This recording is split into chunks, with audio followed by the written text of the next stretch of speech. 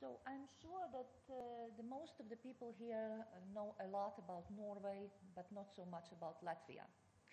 And uh, that's why I will start with some general facts and about location and about the milestones which we reached during this last 30 years. So our history is a bit painful because uh, of our great geographical location. Uh, many other countries through the history of through the centuries were very keen to come and to conquer us. So our geographical location is our advantage and our curse as well. So, uh, about 750 years ago, when uh, German crusaders came to this area and brought Christianity to us with the sword and fire and with the Bible, so they, uh, of course, they saw that there is a very convenient place in the mouth of River Venta where they built the castle, and that's how the history of the port of Windau, or later the Ventspils, has started. Ventspils mean a castle on River Venta. So, and uh, during the centuries, uh, we've been under the ruling of uh, Germany, Sweden, uh, Russian Empire, Soviet Union. So we were built uh, uh, for 50 years the socialism together with our big brother Russians till 1991. So uh, in 1991, when the Soviet Union has collapsed, so the three Baltic states restored the independence. So, and then we had a lot of big questions. How we can move forward? What is our place in the world? How we can make the transition of our economy? So all these questions, of course, were related also uh, to the ports and its developments. Because we have uh, quite a long coastline, as you see on the map, and we have three major ports one in the Gulf of Riga, Riga port, another at Ventspils port, the open sea, and the third, a little bit smaller port, Liepāja, on the southwest coast of the Latvia. So in 2004, Latvia became the part of the European Union and uh, also the part of the NATO. In 2007, we joined to Schengen zone, so it means that you can travel around all European Union if you have the entrance to Latvia. In 2004, we adopted euro currency, which is important for the small country and economy like Latvia. However, we not, by size, we have one third bigger territory as, for example, Kingdom of Netherlands. And you know from the example of Netherlands that size is not the, the, big issue. Yeah, so it's not the Netherlands reached excellency in many areas, but what are the size they have? Yeah. So in 2016, Latvia also joined uh, to OECD, so as a member state, and um, we have a big advantage of uh, our long border with Russia and Belarus. So we can serve as the hub for the business between Europe and between these countries. Of course, with the political tension, what we have uh, between uh, in the region now, it's a bit uh, less interesting to do the business with Russia. More, we are now focused on Belarus and uh, Ukraine. So, uh, by the population, Latvia is only two million people and the size of the area is 65,000 square kilometers. So the density is population is uh, low, and so we are looking for the workforce which come from the neighboring countries. The main source today is Ukraine. Over 50% of the workforce which come for our industry is coming from Ukraine because for them it's also very convenient to come. Many uh, people speak Russian in uh, our country, along with uh, English and along with German and French, of course, our own language, Latvian. So, uh, Ventspils is the second largest port city after Riga, and definitely the most successful uh, free economic zone in Latvia.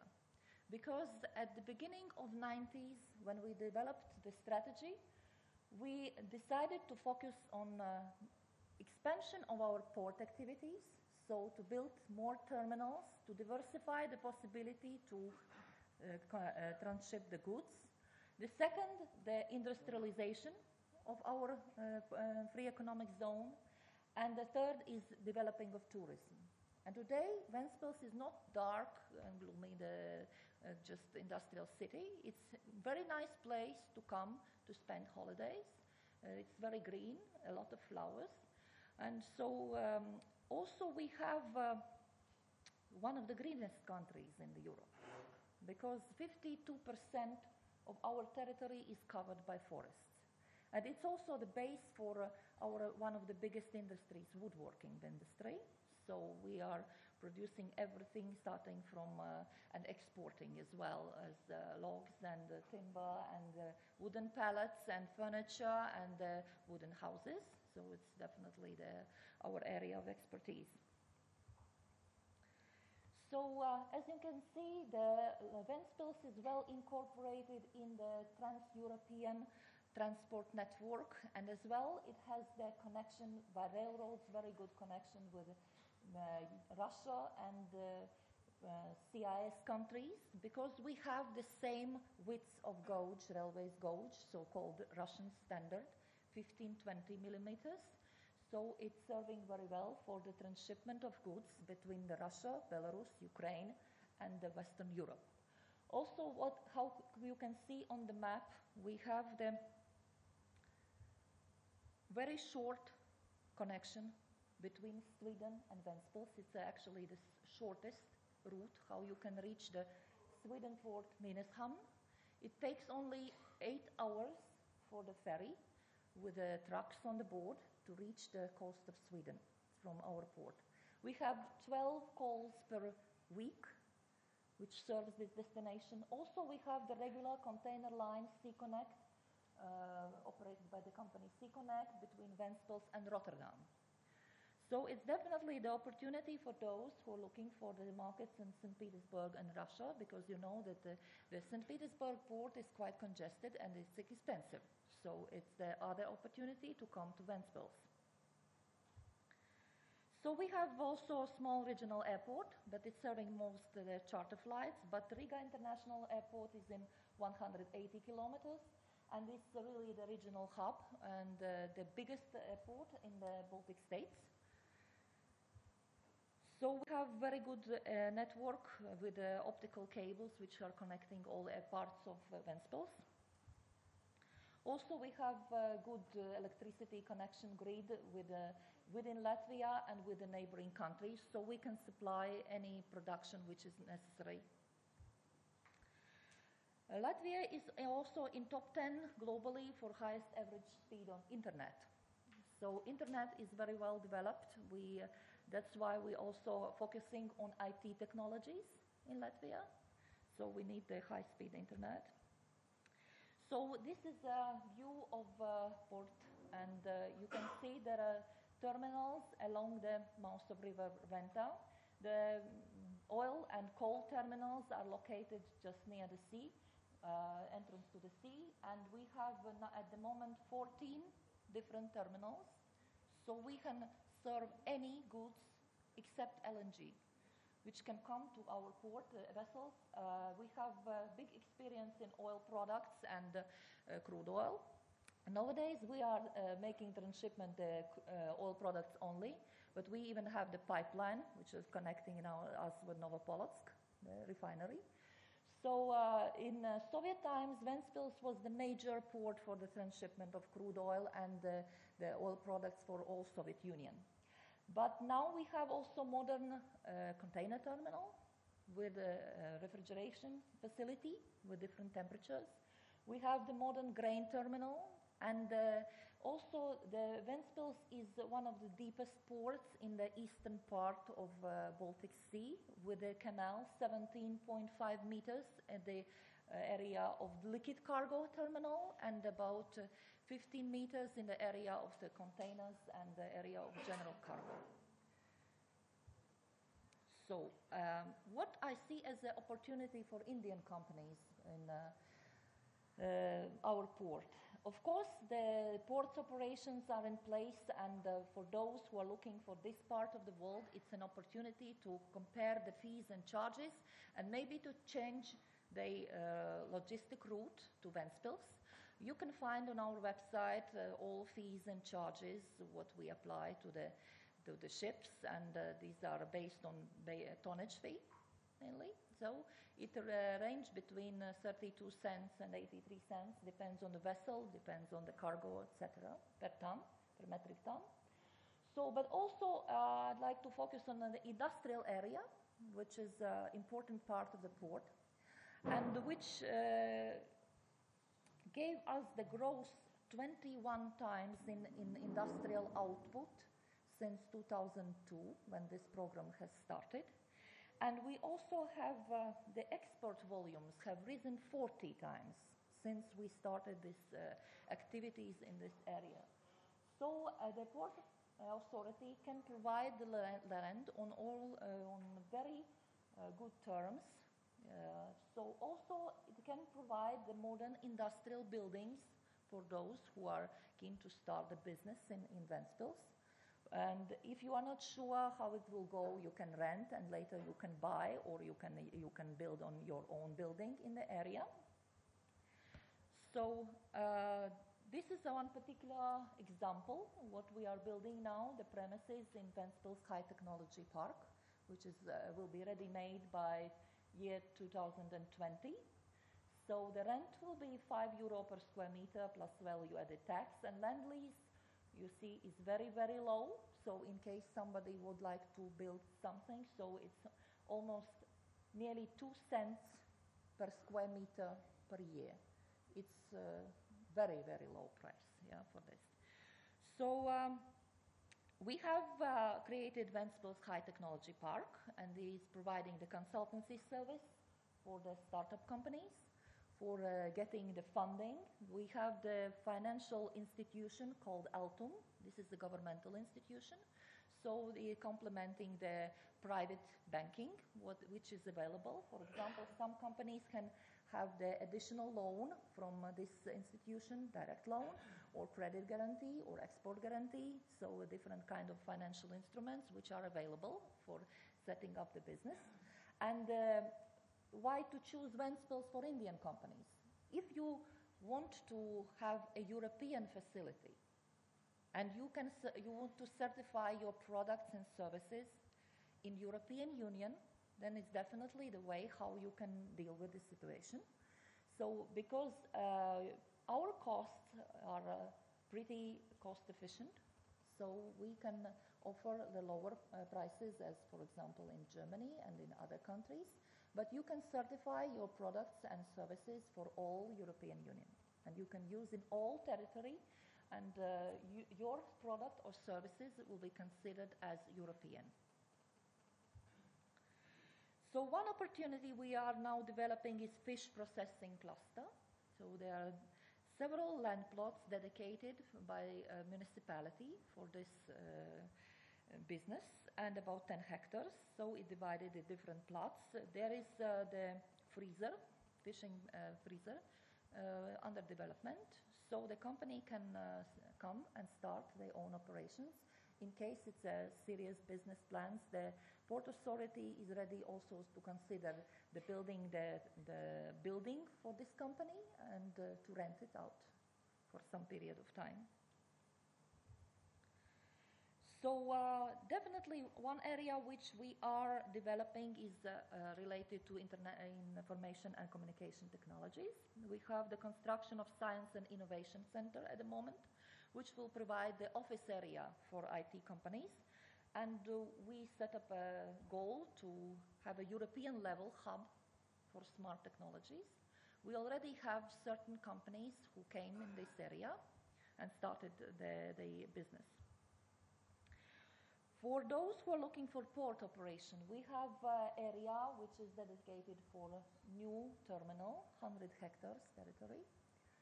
So uh, it's uh, possible to be rented for 45 years with prolongation option for the same period. And taking into account the value of the rent, which I mentioned before, it's definitely it's a good option. So uh, there is a bit also about the uh, conditions of the rent of land for manufacturing projects. So it's about two and a half euro cents, including the tax per year. So a bit about taxation in a special economic zone. So if we compare the total tax rates which should be paid by business in any country, so you see the, the uh, taxes which should be paid in Latvia, uh, profit taxes, labor taxes, and other taxes. At the moment, we have the plain corporate tax 20% in Latvia. But if you come to, to special economic zone, you have only 4% of corporate tax, and in case if you are taking out the dividends. If you are leaving the, your profit in the company, you pay zero. And you pay zero in any other place in, in uh, Latvia as well, if you set up the company. So only in case of the dividends, you pay 20% corporate income tax or 4% income tax in uh, area of special economic zone. So there is no excise taxes, VAT taxes to the products which will be exported to other European Union countries or other countries. So there is a small example about uh, how it works if you have the taxation in Latvia applied for the regular company or the taxation on profit in uh, Ventspils free economic zone. So you have the huge difference in profit tax. You will pay 172,000 less in this case. So a bit about labor and education. So the average salary at the moment is uh, 915 euro. So uh, the minimum salary is 430 euro. For the foreign um employees who are coming, there is uh, according to the legislation, the employers should pay the average tax, not the minimum tax. To the locals, the minimum uh, minimum uh, salary can be paid. Sorry, and for the foreigners, the average uh, salary should be paid. So we have the Ventspils Technical School, which is setting up the special program for the companies which were common in uh, our area. So in different parts, metalworking, energy, electronics, so it's vocational level education. And also we have the university, and university is very keen to attract more foreign students. So they have international business and export management, business administration, IT technologies, electronics, language studies. So there are many opportunities also for Indian students to come and to uh, uh, study in Ventspils. So a bit about industrial track record, what I mentioned. So biggest company which came in uh, uh, Ventspils in 2005 is uh, part of Bucher Holding. This is a Swiss uh, company from Switzerland which were looking for a place for their business in 2005 and they started in uh, with a small small actually premises 1700 square meters and 35 employees.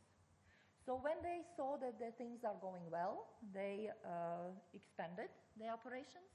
And in 2012 they bought the premises which they rented. They built uh, additional premises already on their own. So and uh, now they have 12,000 square meters production area just like you see here and they are uh, producing this type of the uh, communal sweeper equipment, different types, which are exporting from Ventspils to every place in the world. So we have Belgian company, Malmar Sheet Metal, who is uh, preparing the parts for uh, uh, automotive industry like Scania, Volvo, Caterpillar, MAN, and started operations in 2006. We have the world-class packaging company, which could be very interesting for the Indian companies who come because they can uh, find the good packaging solutions for the uh, products which they would like to offer for the European market. This is uh, my personal uh, so success story. Yeah, so I brought this company to uh, this uh, Ventspils area in 2016. So uh, we have the confectionery. This is the fourth largest Russian chocolate producer, which chose uh, Ventspils as the, the European facility. We have the company from uh, Germany, which is uh, producing plastic items for furniture industry. So we also have the company which is biggest in the region in production of biofuel from rapeseed. And uh, all these companies are working mainly for export. We have a manufacturer of LCD panels with the biggest clean room in the area. We have Hansa Matrix. This is a manufacturer of electronic components, and also maybe only few uh, people know that uh, Latvia is now have the excellence in drone technologies. So we have three companies which are uh, in uh, high level in this industry, and one of the drones are produ produced uh, exactly in Ventspils in this company. So the latest uh, the addition to our industrial uh, companies is company Wasserkabel Baltic. It's a German, uh, Latvian, and Chinese joint venture. So we managed to put together the technology from Germany with the Chinese and local investments so it's an energy efficient heating and cooling technology, radiant heating and cooling technology. This is a new energy efficient trend in uh, cooling industry. And uh, I'd like to thank you to government of Norway for their support because this company received the uh, substantial funding, about 500 euros from uh, the Norwegian financial instrument, which was available for green technology projects. So it's a kind of example. We are thank, uh, thankful to our regional partners for the support, and uh, so it's still uh, open this uh, funding instrument for uh, some projects in Latvia. So about bit of quality of life and international acknowledgements. So uh, as you can see, the, we have many places for tourism activities. We have Blue Flag Beach so the people can come and spend time and holidays in our city. So um, in uh, what the others say say about us. So in uh, since 2010, the um, Financial Times uh, FDI magazine they are making the research about the port zones so in uh, 2012, 2013, they, in their report, they wrote that Ventspils is seventh best special economic zone and second best port zone in the world, between 700 zones. So we got uh, also award on second best FDI strategy among micro-European cities of the future. So it seems that we are moving in the right direction and others also see this and evaluate the, our efforts. So this is the end of my presentation. I'd like to show you also a small video about the port and operations because my presentation was more focused on the, the industrial part. And so, as I told, this is a real opportunity for Indian company to set up a European facility for a product and uh, services which are dedicated for European market. And we would be happy to have the delegation of the uh, Indian entrepreneurs to show the uh, opportunities, what we have. And uh, uh so thank you for your attention. And I'll now put the film. So,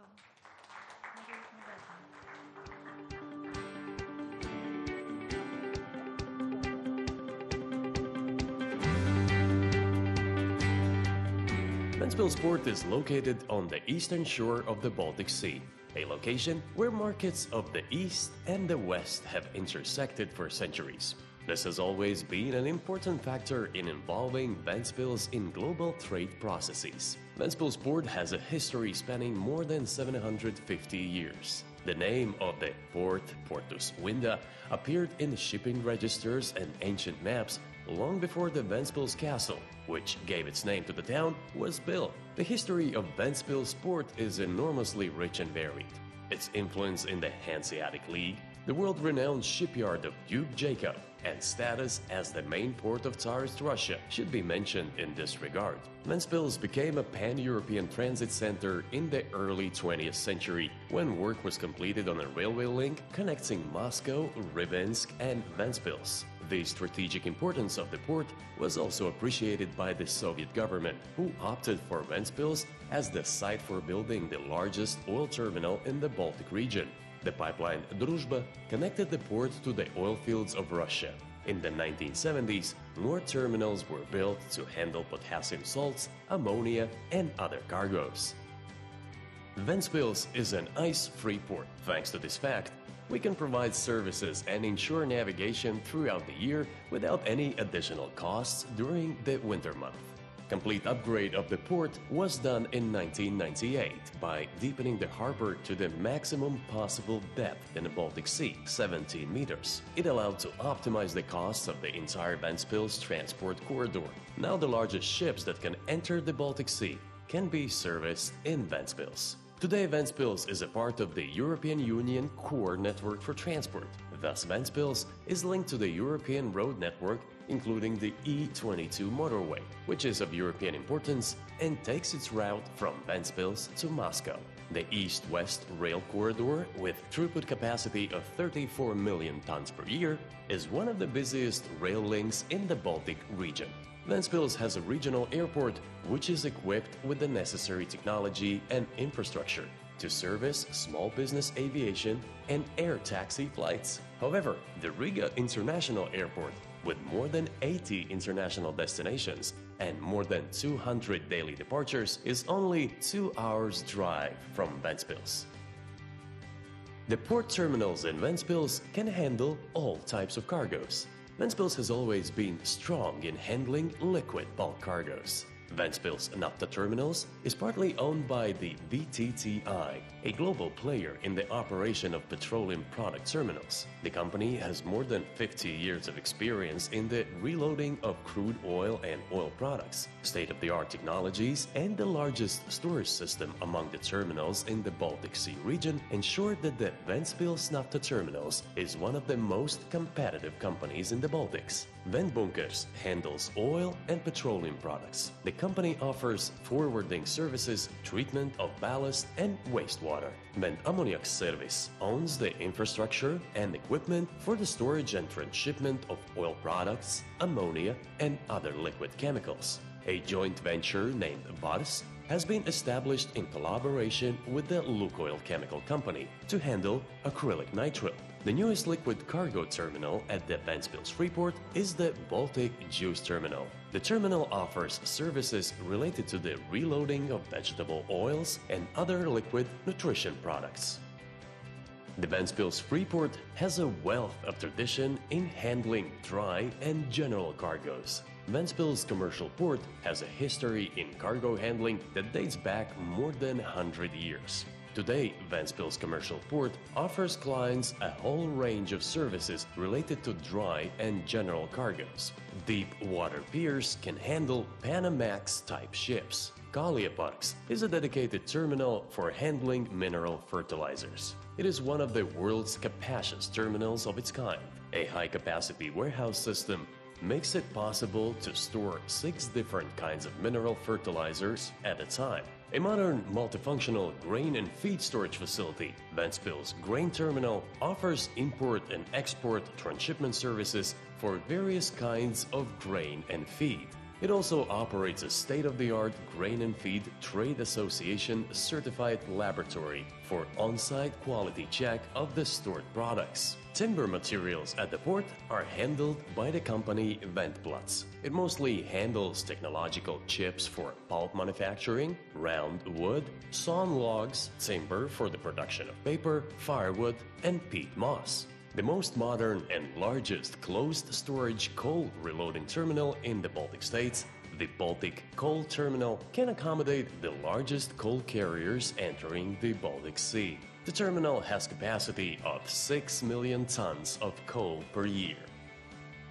Ventspils Port is perfectly fitted to be a strategic hub for general cargo transportation in the logistics chain between the Europe, Asia, Russia, and other countries of the CIS. The port is a home to a high-level and multifunctional cargo handling center Noord Natie Ventspils terminals, which handles a wide range of general, containerized and ro-ro cargoes. The terminal has deep water quays, modern and specialized equipment, and excellent infrastructure, open and enclosed warehouses, a custom and border control facility, and a site for phytosanitary inspection. There are also connections for refrigerated containers. Ventspils Port has established all the necessary infrastructure and is very well fitted for transportation of heavy and oversized cargoes. The terminal has the necessary equipment and expertise to handle even the most sophisticated projects. Reefer Cargo Terminal, with more than 12,000 square meters, state of the art temperature controlled warehouse facility, offers service for frozen and cooled product storage and transshipment. The newest terminal at Ventspils Port is the Eurohome Universal Terminal. The terminal, with its deep water quay, is capable to handle diverse types of general and dry bulk cargoes and has particularly specialized in transshipment of pig iron. Over the years, Ventspils has become a significant center for ferry transport and a major gateway for trucking to and from Scandinavia. Stena Line, with several daily departures, operates a route to Stockholm area, the port of Nynäshamn. This makes possible to service one of the busiest regions of Sweden and opens up the route to Norway. This is the shortest sea route between the Baltic states and Sweden, just 8 hours shipping time each way.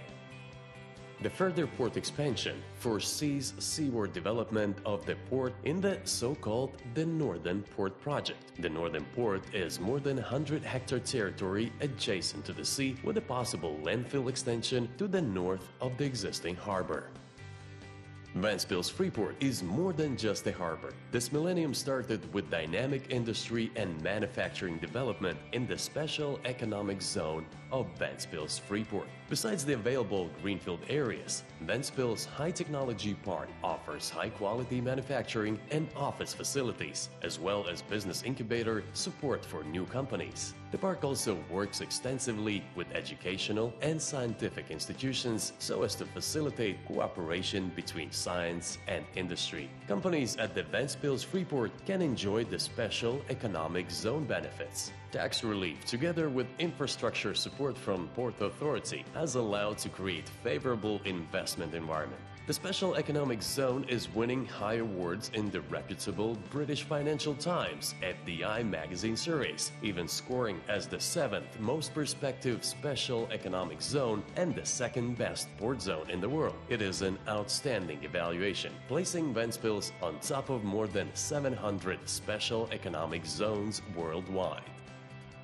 Ventspils brings together high-level industrial development and high-quality port services. Ventspils today is a flourishing European city. The industrial status is supplemented by cultural and historical heritage, with contemporary art projects, facilities for leisure and sports, as well as extensive educational resources. Vocational and professional, as well as higher educational institutions, are working to harmonize the needs and trends of the industry with the availability of skilled people. Ventspils is the city that supports business, a port city with lower taxes and an individual approach to each business. Ventspils is the right place for your business. Welcome to Ventspils.